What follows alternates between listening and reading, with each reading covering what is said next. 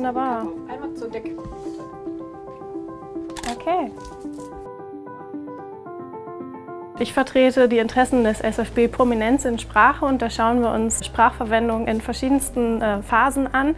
Unter anderem schauen wir uns hier heute die ähm, Psycholinguistik an. Die machen Eye-Tracking-Experimente und äh, Messungen ähm, ja, der Gehirnströme und das möchte ich mir gerne von Professor Dr. Petra Schumacher erklären lassen, damit ich es vermitteln kann.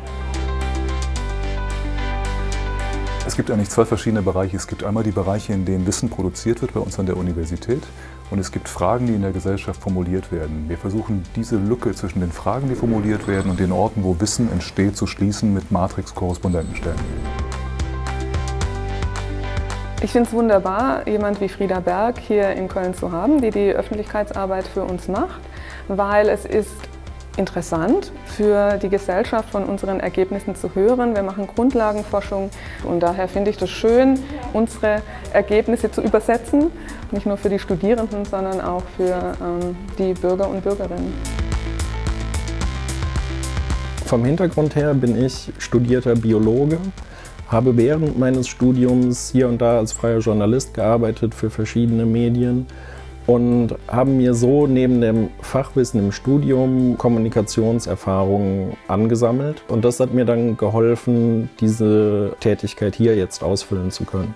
Aktuell bin ich zum Beispiel damit beschäftigt, eine Reihe von Erklärfilmen zu machen, zum Beispiel einen Kurzfilm 10 Tipps für gesundes Altern. Am Altern an sich führt kein Weg vorbei.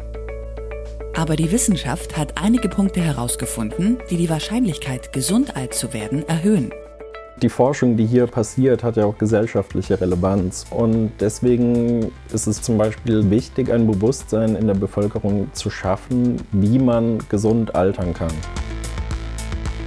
Wir haben auch so etwas wie Issue-Monitoring eingeführt. Das heißt letztendlich, wir wollen natürlich auch wissen, was die Fragen sind, die die Gesellschaft bewegt. Ich gebe mal ein konkretes Beispiel.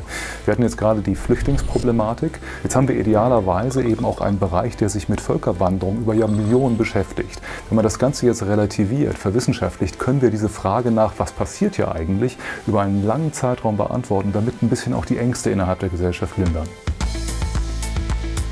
Das Thema der Ausstellung lautet zwei Millionen Jahre Migration. Und unsere Idee war zu sagen, wir forschen ja an diesem Thema im SFB, wir forschen über Migration aus Afrika nach Europa. Und gibt es nicht eine Chance, äh, die aktuelle politische Situation und unser Forschen zusammenzubringen und auf diese Art und Weise vielleicht einen neuen Standpunkt zu diesem Thema zu gewinnen? Dadurch, dass wir das quasi in die Jetztzeit getragen haben, mit einer Ausstellung, mit einer App, mit allen modernen Kommunikationsinstrumenten, die es auch noch zusätzlich gibt, haben die Menschen angefangen darüber nachzudenken, naja, vielleicht ist Völkerwanderung etwas ganz Natürliches. Das wurde auch in der Presse so rezipiert, genau unter der Schlagzeile, Völkerwanderung gab es eigentlich immer schon. Und wenn das Wissenschaft schafft, die Dinge zu relativieren wieder, die Fragen zu beantworten, die möglicherweise noch nicht gestellt worden sind, dann haben wir unser Ziel erreicht.